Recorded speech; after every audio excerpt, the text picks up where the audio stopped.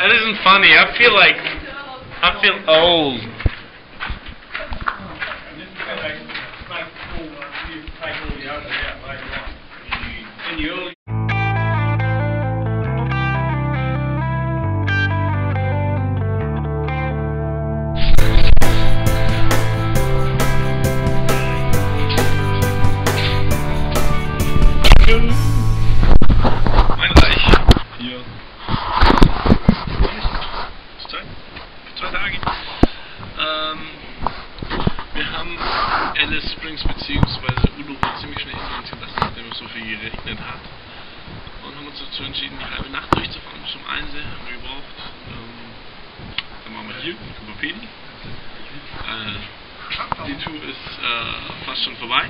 Und ähm, noch vier Tage davon noch, nein, noch drei Tage. Davon eine Nacht noch hier, dann noch eine Nacht im Zelt und dann noch im Motel in Adelaide und dann zurück nach Melbourne und dann fängt hoffentlich für mich auch endlich mal das Arbeitsleben an. Schauen wir mal, ihr seid wie immer, immer, immer live dabei, Work and Travel Podcast.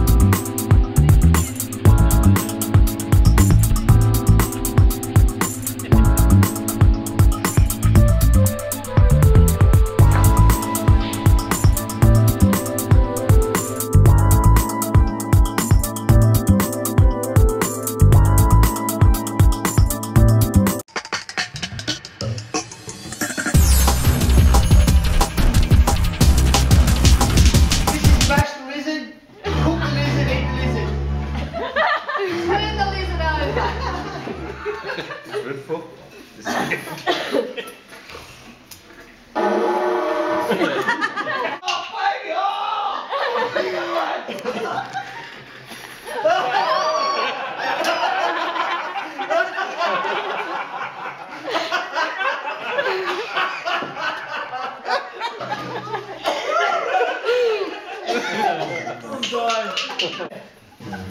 I'm.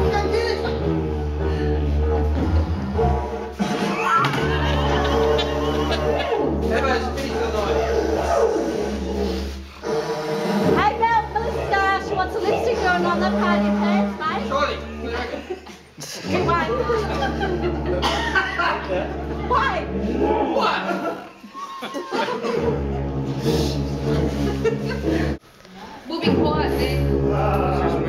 No, we won't. What did you say? Is it all booze now? Well, I imagine.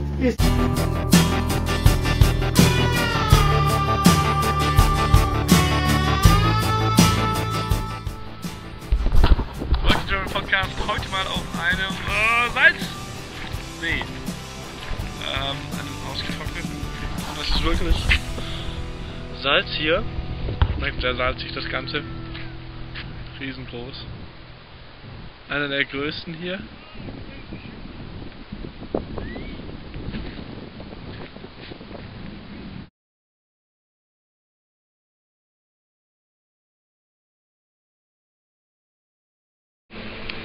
So, Work Travel Podcast am letzten Abend von meiner Reise, zumindest äh, von meiner Australien-Reise. Äh, wir sind jetzt gerade in Adelaide im Motel und ähm, waren jetzt gerade essen und jetzt ist irgendwas um 9 Uhr oder so. Morgen geht es um Viertel vor fünf raus. Ähm, zwölf Stunden Fahrt liegen vor uns, hört sich alles nicht so prickelnd an, was soll's. Ich habe hier auf jeden Fall mal, mal wieder ein schönes ähm, Motelzimmer hier mit meinem kleinen Arbeitsgerät im MacBook. Mal zwei Betten wie immer. Was aber an diesem Zimmer das coolste ist, ich habe einen Whirlpool und eine Dusche, alles, aber es ist irgendwie ziemlich groß. Ich habe heute auch schon mit dem Whirlpool eine Riesensauerei gemacht. Äh, da ist noch der Schaum. Ich meine, ich muss dafür nichts zahlen. Dementsprechend der Work and Travel Podcast geht natürlich weiter, auch wenn die Reise vorbei ist. Ähm, aber mit mehr Infos jetzt, ab jetzt wieder, ähm, was die Jobsuche angeht, weil ich werde wieder auf Jobsuche gehen und es geht wieder los. Und dementsprechend, stay tuned und macht's gut. Ciao.